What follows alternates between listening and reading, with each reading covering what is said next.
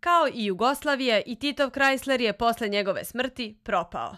Poklon američkog predsjednika iz 60. godina bio je vlasništvo Garde, koja ga je posle Titove smrti prodala.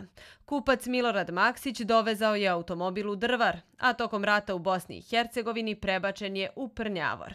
Rekao je da će automobil tu ostati dva meseca, a on stoji već 17 godina bez papira i bilo kakvog kontakta sa vlasnikom. To je otišlo sa njim u Sloveniju, ujak je Sloveniji, kontakt nemamo.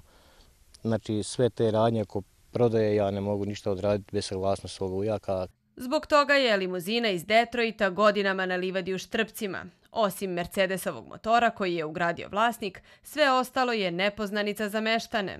Navikli su ljudi na tadašnje i Golfove i Lade i Fiat, međutim kad se ovo vozilo pojavilo još u mraku, svi su ono se re, burna reagovanja čak što više pomisli se da tank ide jer je otpao auspuk u među vremenu u Prnjavaru pa je tutnjalo vozilo. Ali poslije se navikli svi na vozilo. Glavnina Titove kolekcije vozila 1986. otišla je u Tehnički muzej u Sloveniji. Nešto je u privatnom vlasništvu, a posljednja ponuda za ovaj automobil bila je 100.000 evra. Meštani kažu da bi Amerikanci za Kennedyjev automobil možda dali i više.